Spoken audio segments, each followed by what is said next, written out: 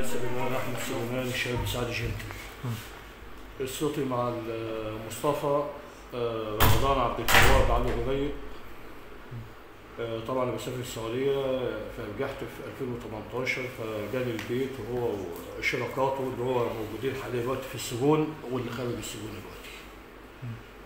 خد مني أنا ومجموعه تخصني حوالي 3 مليون ونص 4 مليون. آه، 3 مليون ونص. مجموعه تخصني. على أساس آه، أنا كنت رايح آه، فلوسي أنا الخاصه بيا كان جزء كنت رايح أوديه البنك.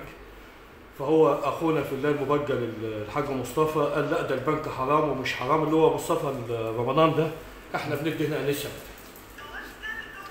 17 في الألف 18 في الألف آه، لسه طلعوا نازلة. القصد خد الفلوس الحمد لله. أنا خدت هي كلها ضربة واحدة كده في 15 9 2019 الفلوس آه، أنت كنت طبعا آه، فيها. السعودية.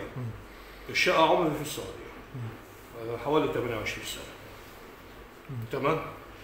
آه طبعا اتضح آه مصطفى كان بيقول لي رأس مال الشركة 10 مليون.